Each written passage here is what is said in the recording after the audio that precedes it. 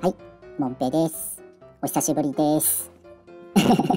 待たせすぎだよっていう感じですよね。で、今回は、えー、っと、まあ、旅、ご飯物ですね。旅行先で食べたものでございます。ただ、ここはですね、兵庫県桑もんぺっていうところに来たんですよね。はい。つまり、もんぺさんが桑もんぺに来たよっていうダジャレも兼ねた、あのー、ご紹介です。まあ、本当申し訳ございません、おじちゃんなんでね。まあ、おじさん3人で来たんですけれども、ご家族連れで女子2人とかっていう、あのー、グループが多かったですかね。まあ、あのー、女子、女子、女子力高めなような気がします。おデートにもよろしいのではないでしょうか。車でね、あの、のんびりと、あの運転してきてですね、あの来たらよろしいかと思います。はい。で、こちらですね、お友達のお車で、あの連れてきてもらいました。はい。もう素晴らしいお車でしたね。本当。で、えっ、ー、と、ナビ通りに行くと、なんかものすごい狭い道、差し迫られてしまいますので、大きな道、大きな道を使ってきた方が、あの、よろしいかと思います。はい。まあね、こんなひっそりと山の中にあるお店でございますけれども、あのー、結構すぐ、すぐ、あの、いっぱいになるぐらい人気店でございます。さすが、もんぺさん。さすが、いやいやいや、さすが、くわもんぺさんですね。はい。あのー、まあ、看板メニューはピザですね。ピザでございます。そちらの方ですね、この後、紹介したいと思います。この時はサラダとピザと、あの、パスタ。食べさせていただきました。あと、自家製ジンジャーエールとかもありましたですね。はい。ちなみに、おっさん3人で行ってきました。では、紹介いたします。はい。皆さんね、写真を撮った後、写真を撮った後ですね、あの、このサラダ、まずサラダですね。サラダを頼んで、えー、見ました。はい。シーザーサラダですね。チーズがたっぷりかけられていて、あの、フレッシュな、あの、お野菜。ですね。トマトが美味しかったですね。かなりあのみずみずしくて甘くて美味しいトマトが添えられておりました。はい。まあ、レタスに、えー、と、かぼちゃですかね。うん。で、えっ、ー、と、今、左で撮ってる人はね、あの、かぼちゃが食べれないというような、あの、方ではございましたけれどもですね、3人で仲良く分けて食べましたというところでございます。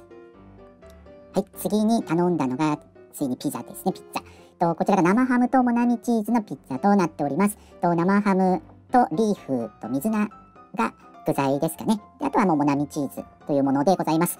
そして、モナミチーズが何たるかは、モンペさんには知識がないので、申し訳ございませんが、わかりませんが、チーズです。っていうところでございます。はい。で、まあ、こちらですね。あの、それぞれ3人で、まあ、2ピースずつ食べればちょうどっていうところでございましたかね。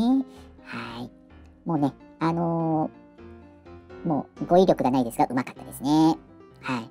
で、えっ、と、付け合わせはですね、タバスコはなくて、オリーブオイルに唐辛子がつけたものが、あの、用意されておりましたので、あのー、まあ、シンプルにこちらで食べたのと、あの、そちらつけて食べてみてみました。はい。これで美味しゅうございます。はい。そして2枚目は、カチョカバーローと粗挽きソーセージのピッツァでございます。はい。えっ、ー、と、トマトソースに燻製チーズに、えー、粗挽きソーセージというトッピングでございます。はい。こちらも2ピースずつですね、仲良く3人で分けて食べてみました。はい。まあね、先ほどとは違ってですね、あの、美味しい、また違った味わいで美味しゅうございましたね。今先ほどちらっと見ましたが、あの自分はちょっとピリ辛のピッツァが好きなので、唐辛子好きのですね、オリーブオイルをつけて食べてみました。はい。もう非常に美味しくてですね、さあ男3人だともうペロってですね、ほんともう瞬殺です。はい。非常に美味しかったです。はい。で、まあピザ2枚食べたのでですね、あのその後は、あのパスタですね。パスタを食べてみました。トマトソースのパスタとバジルソースのパスタでございます。はい。もうね、あのーピザ、サラダにピザ2枚に、えー、パスタ。まあ、それも3人でシェアしてますのでですね。まあ、もうペロリです。ペロリです。まあ、バジルソースとトマトソースのそれぞれパスタでございます。うん。まあ、3人3用でですね、トマトソースの方が美味しいよっていう人もいらっしゃれば、バジルソースの方が美味しいよっていう風に意見が分かれたものでございます。どちらも美味しいですね。まあ、あの、ただですね、あの、バジルソースの方が、ちょっとまあ、パスタ、まあ、トマトソースはさっきですね、ピザ食べちゃったので、うん、なんか、バジルの方が新鮮だったという意見の方が多かったですかね。うん。まあ、こちらもですね、両方とも非常に美味しい、あの、お料理でございました。はい。一通りですね、あの、ご飯食べたらジンジャーエールで喉を潤して、コーラなどなどですね、あの、食後の一杯を飲んだ後、お店を後にしました。まあ、価格帯はまあ大体1200円から、まあ、高いので1900円とかでしたかね。まあ、お得なランチセットとかもあったみたいです。はい。まあ、あのー、まあ、まだ4種類、2種類ずつしか食べてないですが、パスタと、あのー、ピザ、美味しかったですね。まあ、他の種類のピザも、あのいつかまた食べに行きたいと思います。はい、ありがとうございました。本当に、まあ、もんぺさんがクワモンペに来たよっていう動画を撮りたいがために来たようなものでございます。うん、ごめんなさい。はい。まあ、あの、兵庫県にある、あの、お店でございます。多分、調べたら出てくると思います。クワモンペさんです。はい。ではでは、またね。ありがとうございました。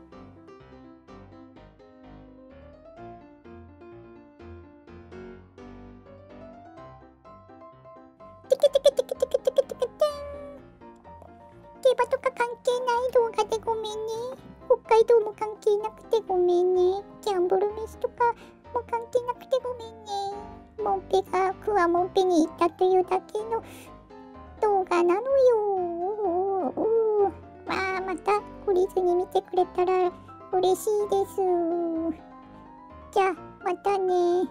ではでは、よろしくお願いします。よかったらチャンネル登録お願いします。